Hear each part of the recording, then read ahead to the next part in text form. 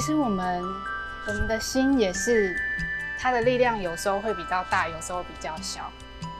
那我们先来看一下好了，什么样的心是比较没有力量的心？比较没有力量的心呢，大概是这样。诶，他一下在这里，一下在那里，一下又在想那件事情，一下又在这件事情，一下又在跑到跑到这件事情上面，跑来跑去，跑来跑去。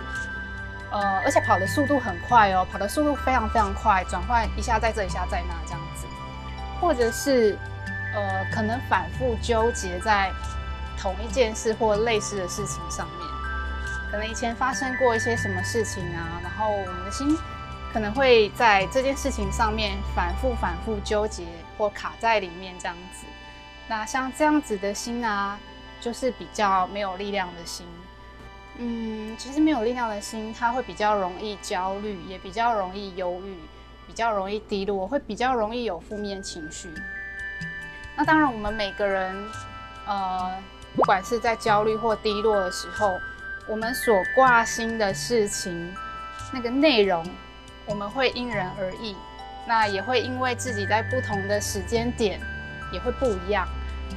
比如说，可能会挂心的是，可能假设失恋啊，或者是呃工作表现啊之类的。但是有一个是一样的，我们每个人在那样子的状态，心的状态其实是一样的。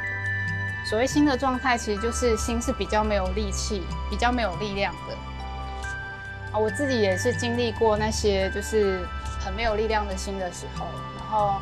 呃，也有比较多负面情绪的时候，人生有几个阶段是这样子，诶，然后再慢慢慢慢透过正念的练习，活在当下的时候比较多一点的时候，那那样子的心也是会比较有力量的。呃，那可能会想说，那怎么办呢？如果假设自己就是很容易有焦虑啊，或低落、忧郁等，甚至可能到忧郁症、焦虑症等等的的一些状况的话。呃，也不用太担心，因为其实心的力量是可以训练。呃，就像我们的肌肉啊，我们如果没有训练它，它就会慢，它就会没有力气嘛。那但是我们慢慢训练它，我们就可以越来越有力气。那我们的心其实也是一样的，有力量的心是比较呃比较容比较可以专注、比较安住，然后也比较可以静下来的心。还哦，还有一个心是也是很有力量的。就是慈爱柔软的心。我们在练习正念的时候，也其实就也就是在训练我们的心，让我们的心是更有力量的。呃，所以如果是假设自己的心是比较没有力量，也没有关系，我们就是慢慢训练就好了。啊，重要的是持之以恒的去锻炼跟训练它。